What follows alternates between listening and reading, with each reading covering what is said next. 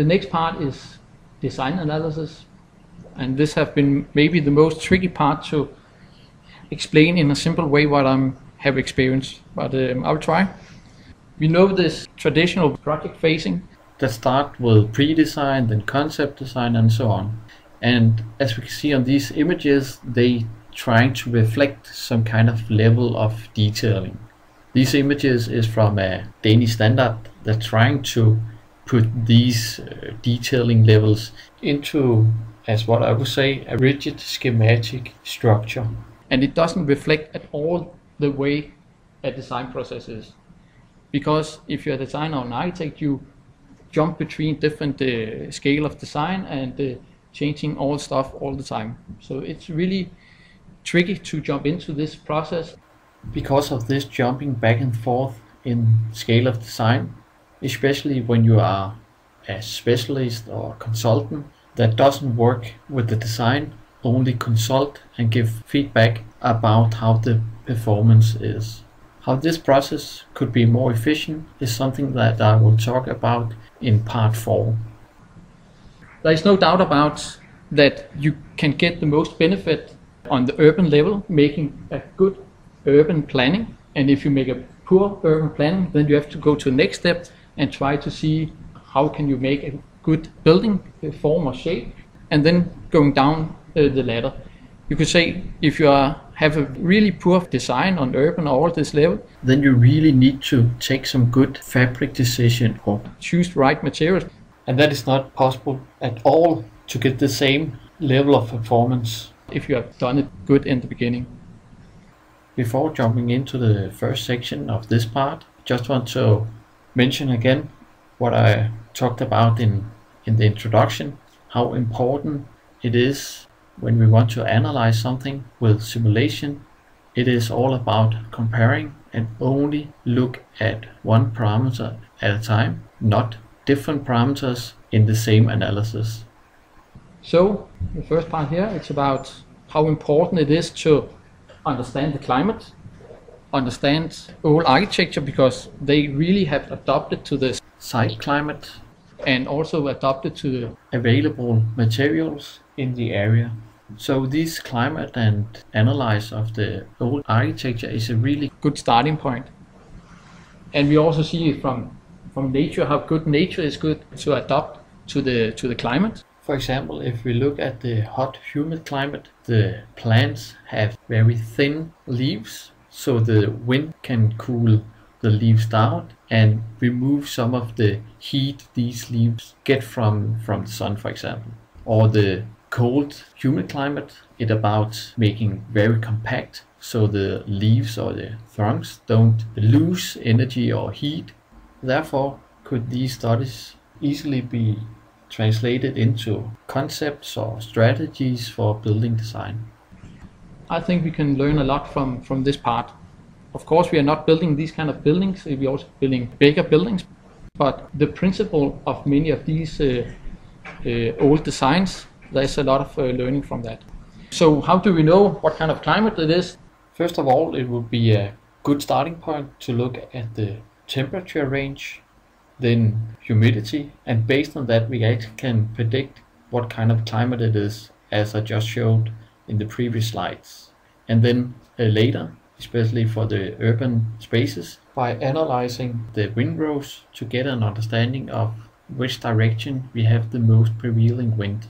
Based on these simple analysis and information we get from the, the weather data, defining if it's a place where we don't want to have solar gain or in this climate in Denmark, solar gain can be a good thing that we could have in mind. So this is some basic steps you should do before going into design to understand what kind of climate it is. And then choosing strategies or design questions that is related to that site and climate. It would be stupid to look at the heat island in Denmark because we don't have the, that high temperatures. That would be a waste of time to going into that subject. That is something the weather data can tell us. Another way of looking at that could be done by analyzing the psychrometric chart.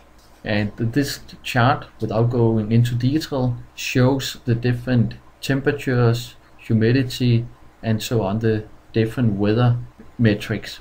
And by combining these metrics, it is possible to define how much of the time the climate is inside a comfort zone. That's typical something like 20 to 26 degrees, depending on which index you're using of comfort. This tool is not an Autodesk product, but it's a free tool called Climate Consultant. And seen here in the marked area, we actually can see applied strategies that could be relevant for, for this climate. Another thing Climate Consultant have that no other tools that shows the psychrometric chart is this one that actually shows some strategies that is relevant for this uh, climate or based on the weather data. This one I'll try to map uh, design strategies, scale of design and simulations. As an introduction for this section, I'll just briefly go through some suggested order on different types of studies. We have already been talking about climatic studies that I talked about in the previous section. So the next step would be, as I suggest, looking at areas, for example, surface areas, floor areas, compactness, and all these kind of metrics that is related to square meters or volume. As a next step, I would look at comfort before I actually looked at energy result and energy performance. And the reason for that, I'll come back to that, that in just a minute. After the comfort, I will look into the embodied energy with LCA analysis. And as one of the last studies, look at energy use and energy performance. In this slide, I want to try to explain why I want to look at comfort studies instead of looking at energy studies. In my opinion, as a designer or architect, looking at comfort studies, it's much more related to the architectural thinking of how you experience the space. And by looking at comfort, you get another angle of study um, spaces, you could say. Energy number is quite abstract, therefore, this is more relevant, I would say. Of course, this could be discussed if it's true or not. As I also have tried to visualize in this diagram, is that the exterior comfort or the exterior impact will of course have an impact on the visual and thermal comfort. Further, comfort studies is more qualitative and it's of course very subjective, but it's related to how you feel and sense the space. After you have optimized and used all kind of passive strategies for bring good visual comfort or thermal comfort, and first then look at how much energy does this building or space need to get the right comfort if the passive strategy is not enough to get it into the comfort zone. Because if you have created a good visual comfort in the same time with good thermal comfort, you will in the same time have very low energy use. So when we are talking about energy, it's more about a quantitative uh, metric and not related to how you feel space but you could say that the energy number or result is a summary for all kind of metrics. The visual comfort related to uh, lighting and thermal comfort related to heating and cooling. Alright, to explain some of these methods and strategies, I've been using this system or schematic overview to explain this. And I actually think it's quite good to tell the story. There is an extended version that I found and this one having the part that's quite important with the, with the climate as we see in the, in the first box. But actually I wasn't satisfied how the way it was shown or visualized this process. So I changed a little bit so I better could tell the story about the relation between strategy, scale of design and so on.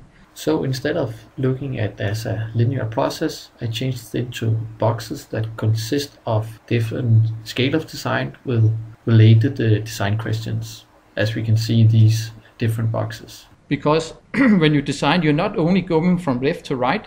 Very often you're working in different scale of design. Let's say you are looking at study of uh, the building form. You're maybe at the same time looking at study of the fabric, for example. So it's about taking the box and then you have the questions for that kind of box or scale of design. So if it's on the urban level, it would be like should I go for a compact or open city plan or what kind of orientation is a good idea. So it's about having related design questions with these different scale of design. Of course, you could say that this is quite theoretical, but it's actually telling the story quite good with this schematic overview. Zooming in and to be a little bit more specific, this matrix could be used. It is from the same book. The matrix is trying to make relation between uh, the scale of design and these uh, design strategies. that I showed in the previous slide. So I didn't have to invent the, the wheel again. I just reused some already known literature and methods. Again, I thought it was necessary to customize and adapt the matrix to my kind of thinking of this subject. Especially, I thought there was missing design questions or strategies specific on the fabric level. As seen on the right, I have extended the matrix so it also creates relation to simulation types. Let me try to give an example by zooming a little bit in on the simulation types in relation to the design strategies and scale of design. As we can see on the simulation types, there is a difference between uh, black and red. The red text is simulation that is not possible at the moment with Autodesk products. At this point it's only possible to do the things in black, so let's focus on them in this case. Further, there is also a difference between the light green and the dark green. The dark green, I would say it's more important than the light green. Let's uh, take compact or open as an example in the urban level. So the shadows will have an or could point you in a direction of if it should be compact or open. The same with the incident radiation because that is related, as I mentioned earlier, to uh, not only to overheating or passive solar gain, it's also related to daylight. The next is the wind pattern. That could have an influence on the urban outdoor spaces. And next, daylight levels. Now we are inside the buildings. We could always discuss if that's necessary at this point. But as I, I will show in a later example, that you actually can do these kind of studies at a very early stage with relevant and useful feedback the same with the energy, it's also related to the daylight. It would also be interesting to look at LCA analysis as well as construction properties. The way you could look at that, that I also been talking about earlier, that is looking at square meters. Where is all the square meters? Is it on the facade or the roof? And of course, that will have a big influence. Either it's a compact or open structure you are choosing for the urban layout. So it's a way of putting into a schematic form of knowing that thing is not uh, working that way. But when you have to teach or explain uh, things to others, then it's a good idea to have these kind of matrix and the scale of design with the different design questions. I hope these schematic views and matrix gives a little bit more meaning to what I'm trying to talk about in this section. And a little example, so it's not only about tables. So this is a, a, a typology study and a density study. So I, maybe I would say it's maybe two things in the same time. So maybe it's, it's not me that have done this. It's from a research pro- project that I'm actually been quite inspired uh, by uh, in relation to, to uh, these things I'm talking about. So maybe it should only have been uh, on the typology level, keeping the same square meters, and then another study where it only uh, was about density. But anyway, the interesting part is the salt. It's not this one that is the most interesting part with the energy, I think. The one that I'm also building my argumentation up around. About how I read the radiation studies mentioned in part one. That is, when we look at solar gain and the daylight autonomy, then it actually follow almost in, in most cases. So if we have a radiation, it actually follow the, the daylight autonomy as we see here. And why I'm also talking about uh, comfort would be the design parameter more than the energy parameter is that when we are optimized our building as much as, as we can with the insulation and so on, in this case there is only 20% in difference. But if we look at daylight, there should also be the thermal comfort in this one, then we actually have 50% in difference. So based on that, we have uh, more to gain or look at when we are talking about daylight. There's a bigger difference than we have on the energy part. I don't know if you follow me here, but That is at least one of the arguments. for looking more at comfort than on energy. If we should take the step further, Then we actually should combining result like in this uh, video where this guy have combined wind study with radiation studies for each hour because none of them as single simulation gives the full picture either if it's wind study or radiation study. it should be combined with, for example, the radiation that brings heat as well as the temperature. Because it's a combined simulation, it is needed to create a new index or factor that describes this. In this case, it's a comfort index. And this is another example where this guy is uh, creating a, another index of uh, looking at urban sites by combining radiation with temperature because in some cases the radiation could be good but is it depending on the temperature so if it's uh, cold then it's, it's okay to have a high radiation and the opposite of course when we when it's a high temperature then we don't want to have a lot of uh, radiation at this point, we cannot do this in Revit, but uh, with Dynamo, I'm pretty sure that soon we will, we will have the option of uh, combining these uh, metrics. So the last one is actually based on, uh, um, I did a presentation uh, three years ago, a little bit similar, but I've, I've learned from that. That's good. A really schematic, rigid uh, methodology that didn't work in practice, so to say. That's why I developed this one. having linked to what we're actually doing in, in our models. This relation diagram instead that shows the different model detailing from mass to object-based model. The idea is to map simulation to different level of model detailing. Many of the simulation tools actually have some kind of limitation. Either it cannot select special types of surfaces or similar. And this uh, model of detailing is related to what we actually can do in, in Revit. Therefore, this one was uh, developed based on that.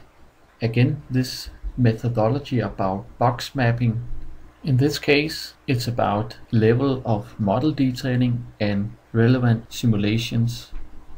And another main idea about this diagram is in fact it's not related to any phases or whatever. You can use this diagram at all times in the design process. It's just about if you have a model, for example, I have a mass model. What can I do with this mass model? What kind of analysis can I actually do with this one? And then uh, trying to apply some of the tools that we have with Autodesk uh, products. It's not covering everything, but a lot of the different steps is, is covered. And uh, maybe it will come in the future. I don't know. So until then, of course, we need to use other tools that can cover these uh, missing part of these also very important simulations, like thermal comfort. So what could we learn from design analysis? The key points again for this section. It doesn't have to be super accurate, the things we're doing, as long as they are giving uh, us a direction to follow. In many cases, people always asking, can we trust these tools? I would say, of course we can. These people are the experts. Who should we trust them? With the very early studies and these comparable studies, It doesn't mean that we shouldn't uh, make more accurate simulation during the process, but in the process, it's better to do something than do nothing. The second point here is about this box thinking, and that was about thinking of framed analysis based on scale of design with relevant design questions, as well as this model of detailing, taking these two parts, putting them together, then you actually have what you need for doing more relevant and useful simulation to not only create better design but also to get a better process. That is something I will come back to in part 4. And of course, design should not only be seen as individual parts, it should be like a holistic, optimized design. Also, I think I typically see that it's only focusing on one thing. It could give you a wrong result or point you in a wrong direction. For example, If you're only looking at daylight, then it may be not good for thermal comfort or energy use or LCA.